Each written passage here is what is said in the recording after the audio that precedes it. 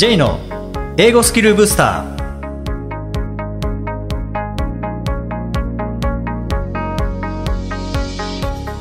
こんにちは J こと早川浩二ですこんにちは、アシスタントのあきです。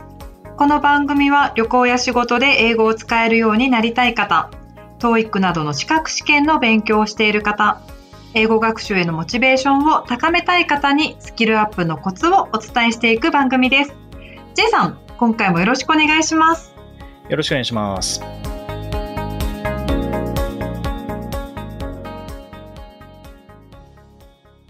えー今回から2回にわたって TOEIC スコアアップのための上達法ということでお話ししたいんですけれども、まあ、まず今回は、えーリスニングですね。リスニング上達法のお話をしてい、えーいきます。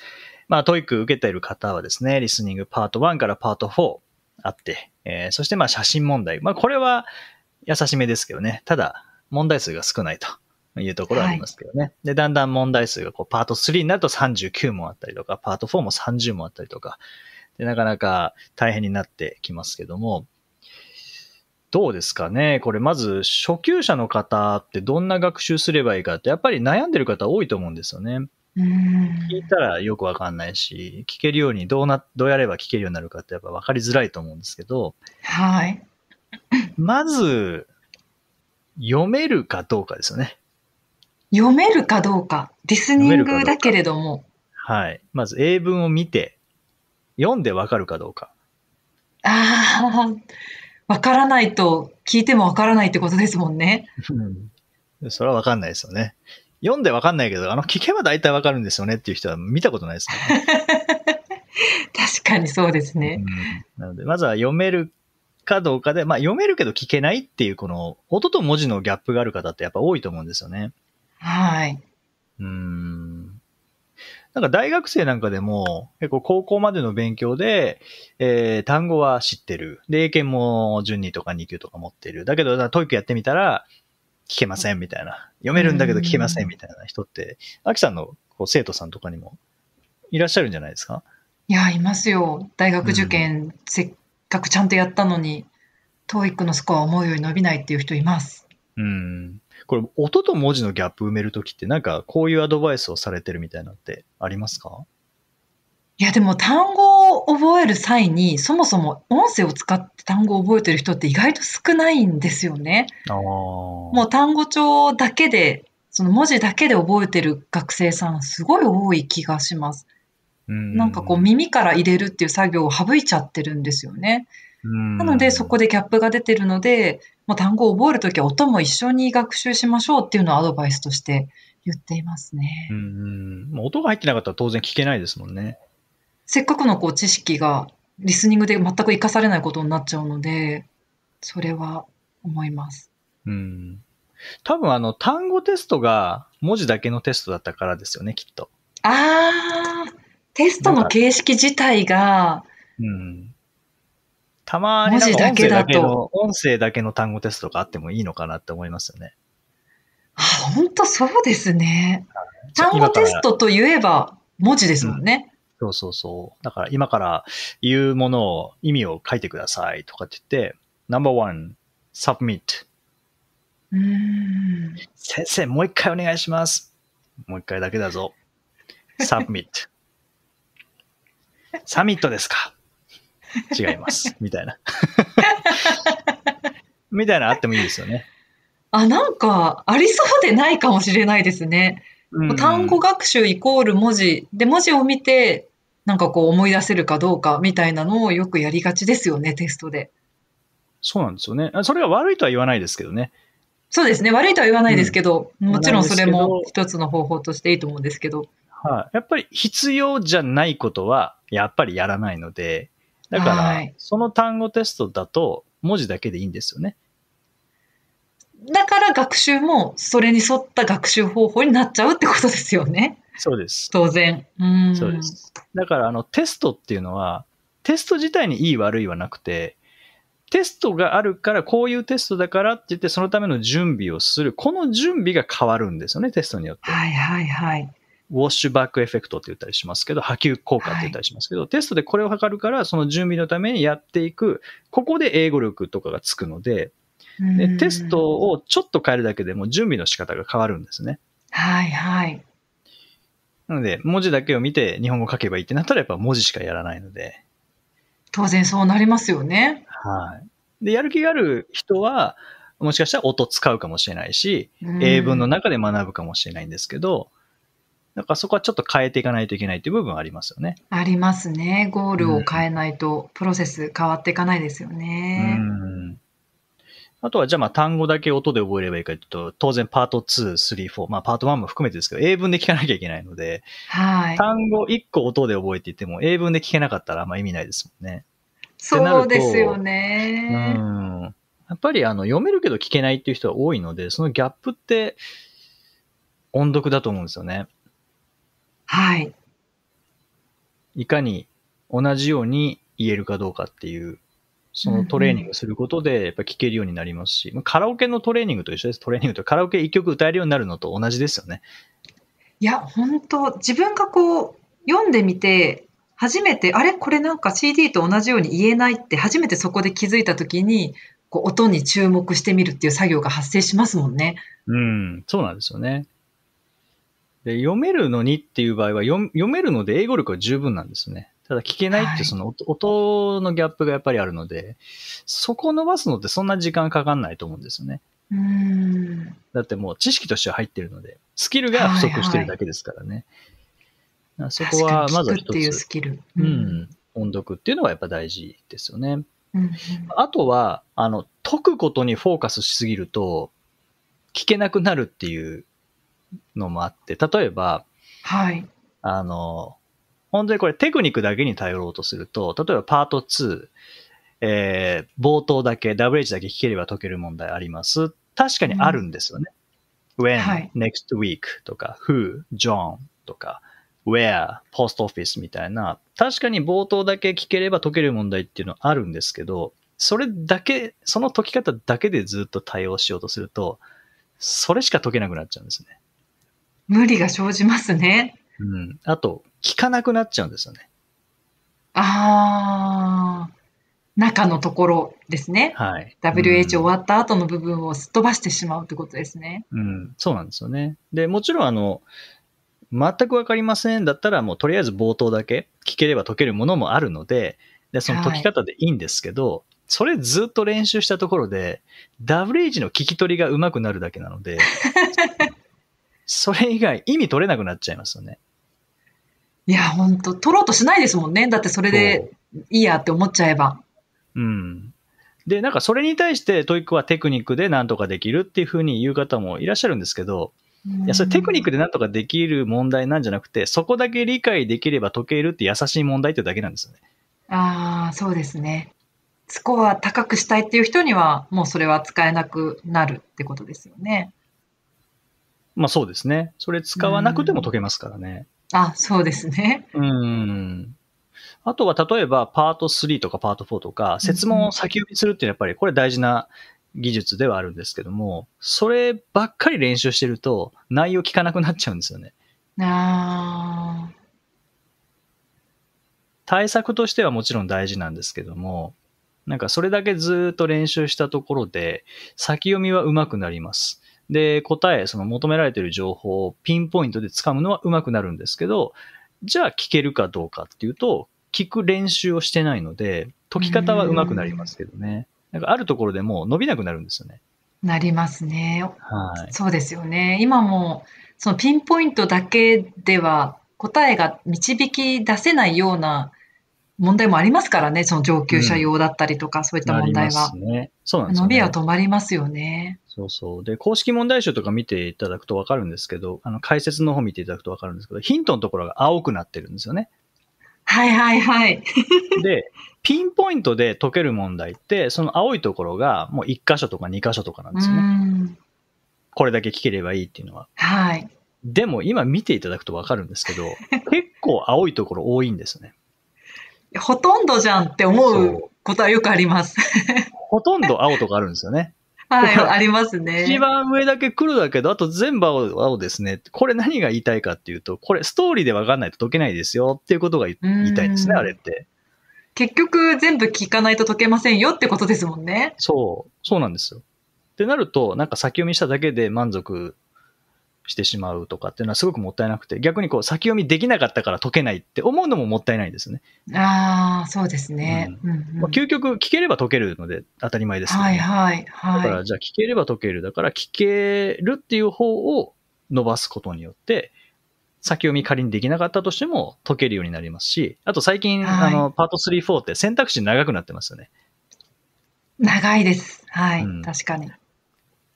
で、あれによるデメリット、マイナス点って何かっていうと、先読みができなくなるっていうのが一つ。うん。でもメリットもあって、それは選択肢が長ければ長いほど、その中に意味が詰まってるので、ああ。聞け聞ければ思い出せるんですよね。それは、あー確かにそうですね。うん。じゃあ、あれですかね、テストの方向性としては、やっぱり聞けるようになりましょうっていうメッセージですね、それはきっと。まあそうですね。だからそこはなんかテストとしていいテストですよね。方向性としては。はい。なるほど。長ければ意味が詰まっているから、逆に言うと、選びやすいってことですね。聞けてれば、うん。読んだ時に。迷わないってことですね。うん。TOEIC の良さって、正解以外、当たり前なんですけど、正解以外は全然違うんですよね。あ、そうそうそうですね。惜しいとかじゃないんですよね。惜しい、そうなんですよね。例えば、あ提出するのは、レポートじゃなくて、こっちなんだよね、みたいな、そういう選択肢じゃない、ないんですよね。そうですね。そう、そうですね。うん。そこはなんか聞ければ解けるっていう感じなので、だか。ら、聞く練習をした方が先読みを、ももちろん先読みももちろん大事ですし、試験当日は先読みもすべきだと思うんですけども、なんかそれだけの練習で対応できるかっていうと、やっぱできないですよね。できなくなってきてますね。特に上級者、上級目指したいっていうんであれば、もう全然聞く方をメインにフォーカス当てて練習した方がいいですよね。そうですね。あと、学習法も、それこそ基準で、どこまで伸ばしたいかの基準で変わるかなと思うんですけど、ただ単にこう点数上げたいだけってなった場合には、で、今今よりも50点だけ上げたい、上げなきゃいけないという場合には、もうテクニックとかで回答の技術でいいと思うんですけど、はい。そうじゃなくて、聞けるようになりたいっていう場合は、解くだけじゃなくて、やっぱ聞くっていう方をうん。重視した方がいいと思いますし、そうじゃなくて、まあ、聞けるももちろん大事だけど、やっぱり最終的に話せるようになりたいですねっていう方は、リスニングを使ってスピーキングの練習もできますもんね。できます、できます。はい。うんで、なんでかっていうと、僕らにとってはリスニングですけど、僕らにとってのリスニングは誰かにとってのスピーキングなんですよね。はい、はい。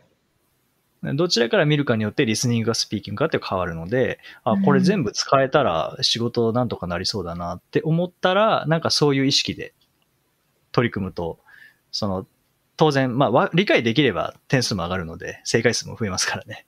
うんだからなんか、その基準っていうのを明確にして、じゃあ、えースコア上げるだけでいいから、ってなった場合には、まあ、スピーキングの練習とかしても意味ないですからね。そうですね。うん、スコア上げるだけでいいのであはい。だけだったら。うん。そしたらもっと、こう、短期間での対策になりますし、そうじゃなくて、話せるようになりたいんですってだったら、問題解くだけだと、やっぱりこれ足りないので、そういう練習ですよね。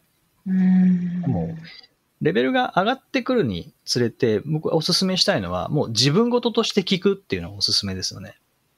自分事として、もうその TOEIC の世界に自分がいるものとして聞くっていう感じですかね。そうですね。例えばパート2だったら、全部自分がね25人の質問を受けるような 感じですよね。で、そうすると集中できるんですよね。自分が答えなきゃいけないですからね。はい。で、余裕がある方は、自分で答え用意するっていうのもおすすめですよね。それができれば余裕を持ってもう選択肢から答え選べそうですよね。自分の答えが出せてる人はすごく簡単ですよね、選ぶことは。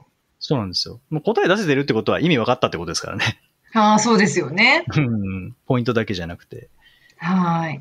だからそういう、まあ、特にこれ700超えてくると、勉強しても問題解く練習しても点数って上がりにくくなるんですけど、その理由は、あの、聞くっていうのがおろそかになっちゃってるからだと思うんですよね。ああ。ですので、その辺のこう、基準を上げていきながら、どこまで伸ばしたいのか、どういうスキルを身につけたいのかっていうところで学習法が変わってくるので、だから、例えばじゃあ、あの、今リスニング300点です。これを400点にしたいですって言った場合、その100点っていうのはやっぱり、えー、ハードル高いですけど、じゃあスコアだけ上げる100点なのか、聞けるようになる100点なのか、えー、話せるようになるためになりなりながらの100点なのかによってやること変わってきますもんね。変わってきますね。自分はどういう100点に持っていきたいのかっていうことですね。大大事なのは。そうですね。そこが明確になると、本当は喋れるようになりたいんだけど、問題解くだけをししてるとかだと、やっぱりなんか100点上がったけど、それはそれですすごいことですけどね。うんなんか、あれ全然聞けるようになってないなとか、やっぱり TOEIC って点数取っても喋れないのかなとか、うん思っちゃいますもんね。練習の仕方だけですよね、本当 どういう練習をするかによってですよね。う、ね、ん。それによって使う教材も変わると思いますしね。学習の仕方っていうのも変わりますし、はいはい、まあ場合によっては TOEIC だけの学習だと足りないっていうふうになりなりますよね。うん、なりますね。うん。逆にスコアだけでいいっていう方が、例えば英字新聞とか、テッドトークとかっていうのを見ると、なんか遠回りになっちゃいますもんね。そうですね。ちょっと広範囲すぎるかなっていう気はしますね。うん、うん。その辺は、基準をどこに置くかによって、まあ、やることが変わってくるので、まあ、究極何かやれば、リスニング力は上がるんですけどね。そうですね。何かやれば、うん、そうですね。行動をまず起こすことが大事ですね。うん、はい。上がるんですけど、まあ、どう上げるかっていうところですよね。はい。それも、なんか改めて、もし、あの、今勉強はしてるんだけど、なんか点数が上がらないとか、えー、聞けるようにならないという方は、そこの基準を改めて、こう、設定していただいて、じゃあそのためには一体何をすれば上がりやすくなるのか、その力がつきやすくなるのかっていうのを考えてみると、もしかしたら今のままでもいいのかもしれませんよね。今のままちょっと質を高めるとか、量を増やすとかでいいかもしれませんし、もしかしたら完全にガラッと変えないといけないかもしれません。ので、はい、それ一度考えてみるっていうのはおすすめですね。はい。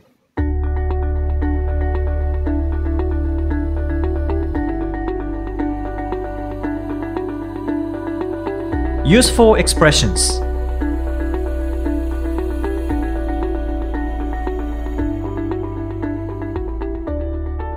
続いては英語の名言から学ぶお役立ち表現をご紹介いただきます。J さん、今回の名言は何でしょうか？はい、えー、今回はベンジャミン・フランクリン、まあ、ベンジャミン・フランクリンの言葉です。Lost time is never found again. Lost time is never found again. 失われた時間は二度と見つからない。そうなんですよね。無駄にしちゃった時間とか、ああ、あの15分あったらな、こんなことできたのになとか、まあ15分ぐらいだったらまだいいですけどね、うわあの3時間がとかっていうのがありますもんね。ありますね。見つからないですね、その3時間はどこにも。一生、一生見つからないですもんね。見つからないですね。はい。でも時間もそうですけど、何でもそうですけど、失って初めて気づくんですけどね。なんかいきなり深いところに入り込みそうになりますけど。はい。まあ今日はこの名言の中の lost time、これですね。えー、これ文法的に言うと、まあ、失われた時間。時間って失う側か失われる側かで言うと失われる側なので、えー、これが、えー、過去分詞の形ですね。lose, lost, lost の三つ目の、三つ目というか、過去分詞の lost のタイム。はい。なくされた時間ってなります。これ、まあ、文法用語で言うと分詞っていう、あの、動詞を形容詞化したものではあるんですけども、もうこれ、はいもう全員知ってる分子で言うと、フライドチキンですよね。ああ、そうですね。うん、揚げられた鶏肉ってことですよね。そうです、はい。鶏肉が何かを揚げるわけじゃないので、鶏肉は揚げられる側なので、はいはい、まあ、フライイングじゃなくてフライドですよね。受動体の関係になるので、フライドチキンと。いやはい、あの分子苦手な方って多いんですけど、分子苦手な方はもうフライドチキン頭に置いといていただければ、はいはいはい。チキンとフライの関係だなって思ったら、タイムはなくす側じゃなくてなくされる側だよな。じゃあロストタイムか。ルージングタイムじゃなくてロストタイムか。みたいな感じになりますからね。いや、分子はいつも難しいって学習者さん思われるパートだと思うんですよね。うん、その ING なのか ED なのか、どっち使えばわからない。うん、される側とする側どっちかわからない。迷う点だと思うんですけど確かにフライドチキンこれすごい分かりやすい例ですね、うん、はい、フライドチキンはもうみんな知ってますからね。はいはい。でまあ他にもう大体分子で使われるものってこれ文法問題でもたまに出ますけどでも表現知ってれば答えられちゃうんですよねえどどういうことですか？表現を知っている。例えばフライドチキンって絶対間違いないじゃないですか。フライングチキンって間違えた 間違える人絶対いないのでそれは文法知らなくても間違いないそうですねそうですね。はいはい、うん、っていうあの表現知ってれば絶対間違いようがないっていう。まあもちろん頭で考えてもいけますけどね、うん、チキンはフライする側じゃないよな。フライされる側だよな。じゃあフライドチキンかっていうやり方もできますけど、はいはい、フライドチキンみたいな感じで例えばえー、まあ、 TOEIC よく出るのが Qualified Applicant とかですね。ああ。 Applicant は Qualify。Qualify 資格を与えるっていう意味なので、資格を与えられた、えー、応募者、まあ、資格を持っている応募者っていう意味で Qualified Applicant。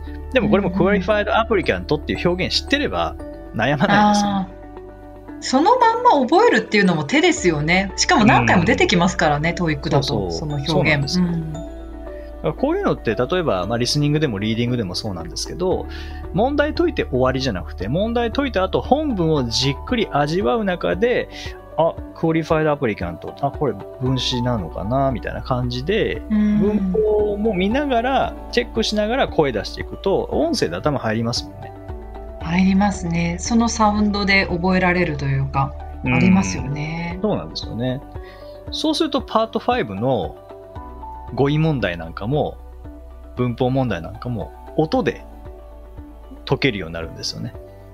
それこそなんか、感覚ってところですよね。感覚、ね、こんな感覚、感じがするっていう、その音のニュアンスで解けるってことですね。うん、そうですね。なので、そういう感じで、フライドチキンのような感じで、クオリファイドアプリカントとか、あと、なんだろう、まあ、予定のフライトであれば、スケジュール do flight とかですよね。フライトが何かをスケジュールするわけじゃないですかね。スケジュールされる側なので、スケジュールフライトとか。はいはいまあ、あと、詳細情報という意味では、情報は詳しく説明する側じゃなくて説明される側なので、detailed information とかですね。detailed information あと、空港なんかでよく使いますけどね、あの到着予定時刻っていう意味で、えー、時刻は予定する側じゃなくてされる側なので、expected、まあ、expect を使って、expected time of arrival とかですね、expected time of arrival こんな感じで、あの、フレーズで学習していくと、もうそのまま音で残りますからね。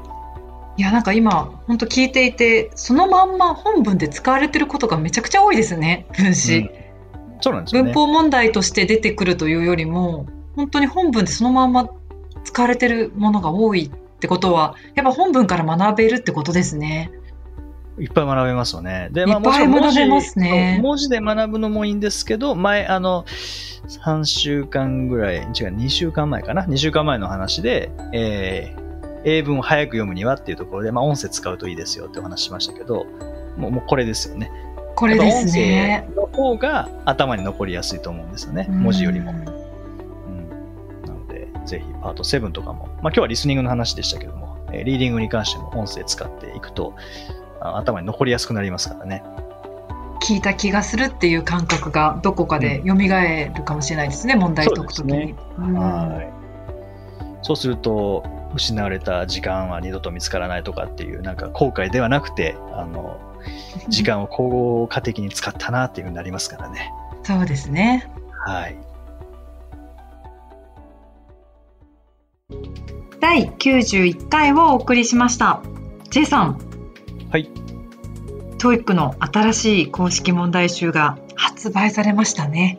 そうですね。まあ実はあのこれ収録している時点ではまだ発売はされてないんですけども、この配信日から考えると、まあ、発売されたばっかりということで、公式問題集も8ですね。そうですね。TOEIC の日で、10月19でしたっけ？10月19発売日が19日そうですよね。はい。これ、あの、まあ、 TOEIC を運営してる IIBC っていう、まあ、団体があるんですけど、ちょっと前に IIBC の方にお会いして、裏情報聞けるかなと思って、何の、何の裏情報ですか？この本そろそろ公式問題集、そろそろ公式問題集出るんじゃないですか？って聞いたら、いや、どうなんでしょうね。どうなんでしょうね。1ヶ月ぐらい前なんですけどね。どうなんでしょうね。でも、その人、隠してたわけじゃなくて、あの出版の情報は、やっぱ内部的にもあんまりオープンにされないみたいですね。そうなんですか？はい。じゃあ本当に知らなかったかもしれないってことですね。そうですね。なので、これ、本当にこう情報解禁日までは誰も知ら、誰もというか、あの関係者しか知らないみたいな感じなんでしょうね。でも最近なんか昔と比べるとこう出版する頻度が高いような気がするんですけど気のせいですか？いや、もう1年に1回出ますよね。1年に1回はい。なんか回もっと、ま、昔はもっとゆっくりだった、1年に1回のペースって出てましたか？いや、昔のは、6までしか出てないですよね、公式問題集。昔はい。はい。なんかすごくのんび。り。1年に1回のペースってすごい早いような気がーム1から前、するんですけど2005ね年に、あ、2006年か、2006年に形式が変わって、2016年にまた変わる、その10年間で6冊しか出なかったですもんね。そうですよね。あうん。6冊。そうなんですね今、だって2016年に変わって、からで言うと、8ですもんね、1から8ですもんね。8ですもんね。あれ？これ、新形式問題対応編っていうのは、ちょっと今、はい。あそっか。あれナンバーついてなかったのがありますよね。これって今の形式って、あ、トリプルがあるから今の形式ですね。そうですね。ってことは9冊。9冊いや頻度が早くなってますね9冊。5年半で9冊ですからね。はいまあでもやっぱり最新傾向に合わせてあるっていうのは多分まあ最新版の方がいいと思いますからね。これからはいあのトイック学習していくとか、あの模試の教材使いたいという方は、これ漫画だったらそれは1冊目から読まないと面白さわかんないですけど、まあ、トイックの場合は1冊目ではなくて、やっぱり最新版から使った方がいいですよね。いやこの間本屋さんに行ったんですけども本屋さんに平積みされていたのが1と2だったんですよね。であれ？8ないの？最新版ないのかなと思ったら普通にちょっと奥の方にあってあ多分本屋さんは12って続こう最初からやっていくものなんだって思ってらっしゃるのかなって思いました。あーあ、そうかもそうやっ勘してれないですね、違いされてるのかなっていう普通だったら最新版出しますよね表に確かに。そうですよね。やっぱ数字がついちゃうと、やっぱ最初からやっていった方がいいのかなって思っちゃうかもしれないですね。はい学習者さんも多分そういう方いるんじゃないかなって思います、うん。いや、あの、悪いことじゃないんですけどね。じゃないですけどね、全く悪いことではないんですけど、でもリーディングの音声ついたのって、そっか最近そうでしたすよね5か6とかその辺だったような気がしますねうん。あと確か8からは、あの、音声のダウンロードが変わるんですよね。あの、今、オーディオブック .jp からダウンロードするっていう感じになってるんですけど、はいまあそこじゃなくて、えーもうすでに2021年7月よりって書いてあるので、あの、ABC ドっていうあの、アプリですね、はいえーからあ音声ダウンロードできるということなので、まあ、少し使い勝手が良くなるかなっていうふうに思いあますね。